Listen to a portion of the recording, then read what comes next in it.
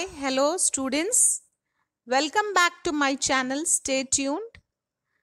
You can subscribe and get updated with my links. You can like my channel. You can share it among your friends.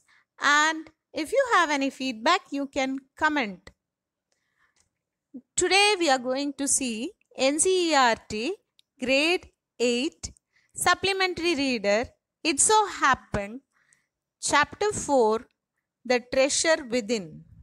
So today i am going to continue with the part 2 so as i told you the interview goes on. So now the interviewer is going to ask him about his field that is architecture. How did he get into this field of architecture? So now our hafiz replies that he got very less marks. You remember in part 1 I've told you he got only 50% in his in his 12th standard which is he got passed in second grade. But if he wants to join a college for architecture he should have marks above 80 to 85 percent.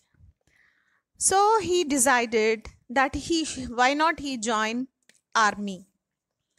He got his admission letter but his aunt tore the letter.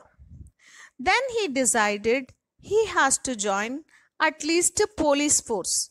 So first he decides to go to army. Next he says that at least he can join in police force so for that, the mother also says, no, don't want, I don't want you to join in police force. Just do your graduation. You know, graduation means any kind of degree. So he goes to a college named Jai Hind College in Bombay. There actually uh, he was supposed to take languages. So either French or German. So already he had studied French for seven years. So he wanted to learn a new language, so he chose German.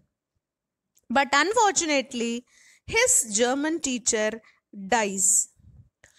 And the college authorities told him to change his subject into French. Now he didn't have any other option, so uh, he got admission in Jai Hind College by influence. Influence means, you know, that through some unknown person. And he started uh, going for French class. Now, the French teachers. Uh,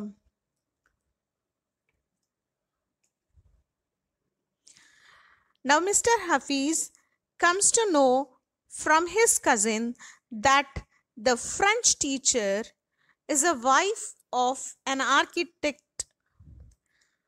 So he uh, used to go to the architect's office to learn French. So one day, one incident happened which changed his life completely. In the architect's office, he saw somebody who has drawn a window detail wrongly so that the window would not open properly. Okay? So now uh, he uh, tells this to his cousin's husband and they got very surprised that how come he has uh, done like this. He has uh, uh, rightly spotted about the window uh, deformity. Then after that they asked him to draw a few specific things which uh, is important for architecture. And he uh, designed a house and he did it very well. Then next day he went to meet the principal of the college. But the principal warned him that he won't allow him if he is not taking part in the entrance exam.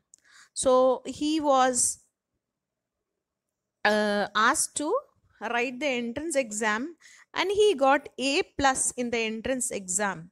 Do you know what is a cakewalk? cake you all like most of you like cake okay? So cakewalk means something which is very easy.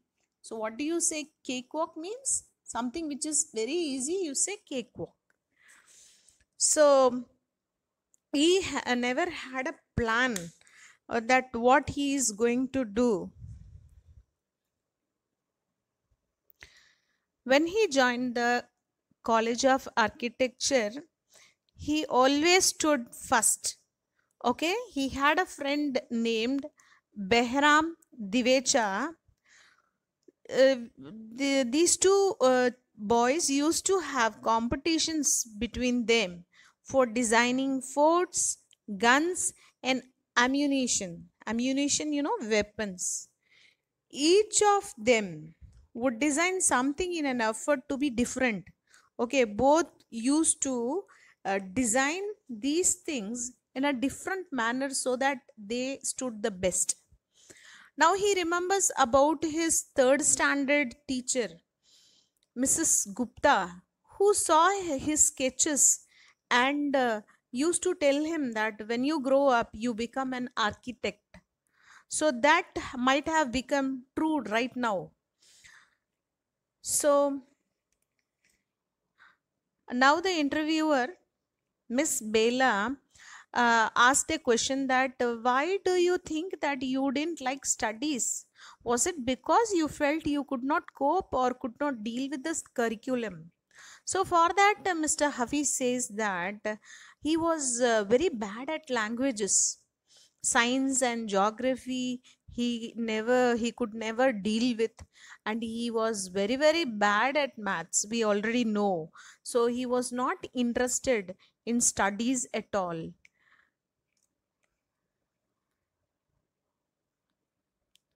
Whatever was taught in school he forgot within 2 days. So he couldn't uh, remember things for a longer time. Already i've told you in part 1 that he could remember only a photograph is shown to him he could remember facts but not when it is taught. So he used to live in a boarding school. Do you know what is a boarding school? It's a kind of hostel a school attached with with hostel. Uh, so nowadays there are many tests but uh, he, uh, he- we remember right? He used to copy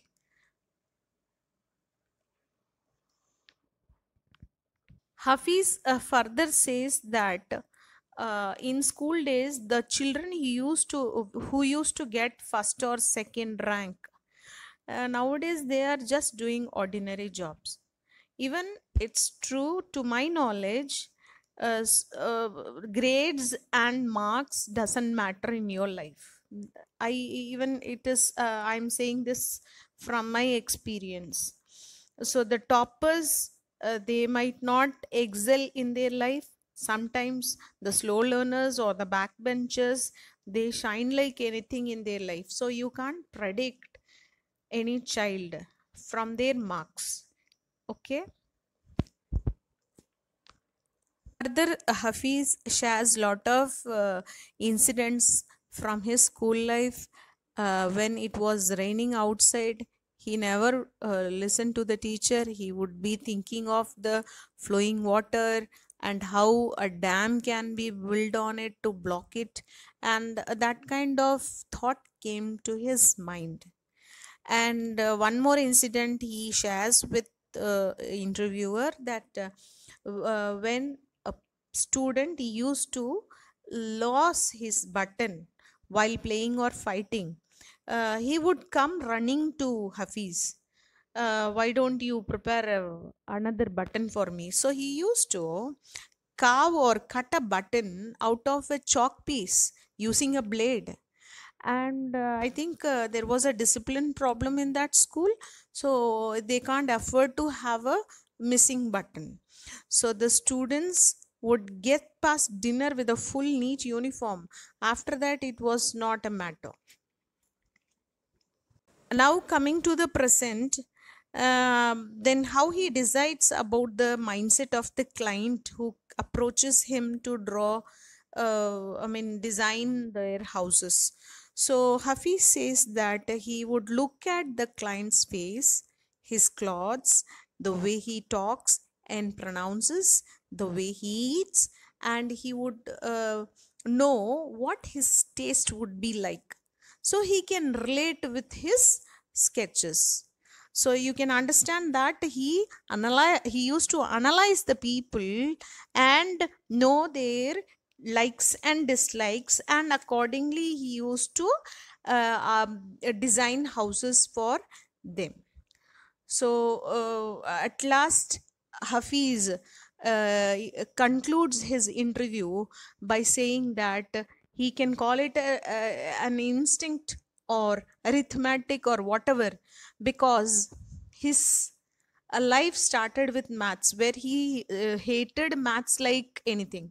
Now he is doing his business based on maths because he is putting designs construction psychology and sociology together and making a sketch from all that is called mathematics so with that we come to the end of this lesson where hafiz uh, life cycle is a full circle where uh, he uh, uh, hated maths and now he is dealing with maths. He loves maths. That is his profession. So with that we come to the end of this lesson. So let uh, so why they have taken hafiz life? Because he was born i'll tell you a small brief profile about him hafiz contractor was born in 1950 he did his graduate diploma in architecture from Mumbai in the year 1975 and completed his graduation from Columbia University, New York, that is USA, on a Tata scholarship. Hafiz Contractor started his career with T. Kharegat as an apprentice architect and in 1977 he became the associate partner in the same firm. Between 1977 and 1980, Hafiz was a visiting faculty at the Academy of Architecture, Mumbai. He is a member of the Bombay Heritage Committee and the New Delhi uh, Bungalow Zone Review Committee. So his practice has had modest beginnings in 1982 with the staff of only two.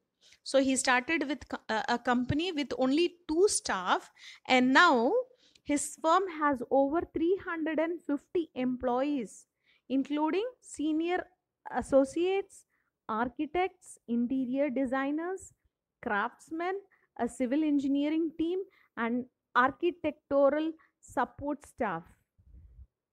Okay? So now oh, you can realize that how he uh, was not very good in studies and later he has uh, flourished like anything. So the firm has uh, conceptualized designed and executed a wide range of architectural projects like bungalows residential developments hospitals hotels corporate offices banking and financial institutions commercial complexes, shopping malls, educational institutions, recreational and sports facility, townships, airports, railway stations, urban planning and civil development projects, etc. Thank you, children.